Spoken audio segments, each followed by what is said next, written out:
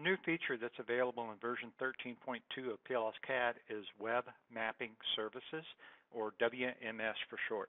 To demonstrate this, I'm going to use an example project here. We'll go look at the plan view. And what WMS does is it pulls in aerial imagery for a project. It's accessible under Drafting, Attachments, Attachment Manager. You will see a new button here called WMS. I'm going to go ahead and click on that. And WMS takes advantage of servers of imagery.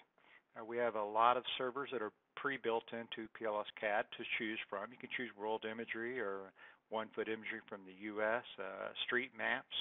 Uh, you can choose uh, wetlands. That's very nice for looking at transmission projects. For this example, I'm going to choose the world imagery. Once you pick your server, you can choose Query the Server. Once you do that, you'll see some information on the data that's available as well as the layers. This is a very simple WMS server. There's only one layer of imagery. Um, you'll notice some of the defaults pop in down here, the desired resolution in feet per pixel, and the tile sizes. We'd recommend leaving those on the defaults uh, when you do that. Uh, you can choose wherever the, these images will intersect the project. Uh, you can choose wherever the uh, plan view extends, whatever's on your screen. Your whole screen would completely fill with imagery. Uh, if you want to choose a limited uh, rectangle of longitude and latitude, uh, this is nice on a brand new project where you don't know where your line is going to be exactly, and you just know you, you want to pull in your imagery of the overall area so you can lay out your line since this is an existing line, I'm going to take advantage of pulling in all imagery within a certain distance of the alignment. I'm going to go ahead and just choose 1,000 feet so I have a nice wide corridor of imagery and it'll fill out my plan and profile drawings very well. Uh, you can choose to wait for the import, uh, which will import the images a little faster. Uh, we'd recommend that you just import the images in the background. Uh, there's a chance in the future versions it may not even have the option to wait. It just may be the import in the background. Once you do this, you can go ahead and click on Import, and you may have to wait for it to start looking at the server. It's found all the imagery, and it's starting to pull those in right now.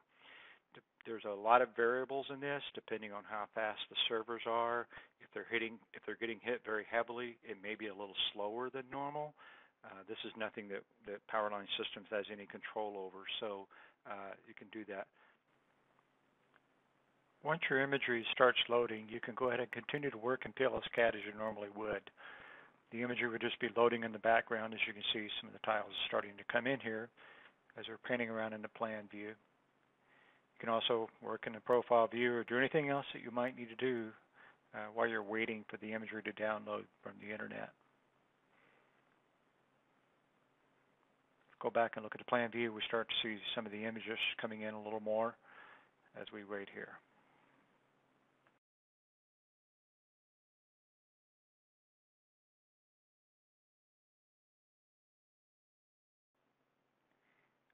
Once you've downloaded your imagery, you can use it just like you would any other imagery that you've attached in PLS CADD. For example, if you were to go to the 3D view, where you've got your tin rendered, you could go to Terrain, Tin, Display Options, and instead of color by elevation, you can choose color from bitmap options, and that will drape your aerial photography over your imagery, over your tin here. If you were to zoom in and look at this, for example, you would see how since this is an existing line, you can see the existing towers right underneath where design towers are and everything. Also, if you were to go to your sheets view, your plan and profile sheets would be updated with the latest aerial photography from whatever server that you may have. There's lots of WMS servers that are available. Uh, in addition to the ones that we have pre-built into PLS CADD, you can uh, use your own. Uh, if you have a custom server, for example, uh, just a quick search on the internet, and we found a uh, National Weather Service WMS server. And so we can go into the radar server here, copy that shortcut. When we go back into here, we can say, hey, use that WMS server from the from the Weather National Weather Service. Uh, we query that, and we can see that we both can both get the uh, uh, weather as well as any warnings or advisories maybe not something to use on too many projects, but that type of technology can be used on any project that you might have.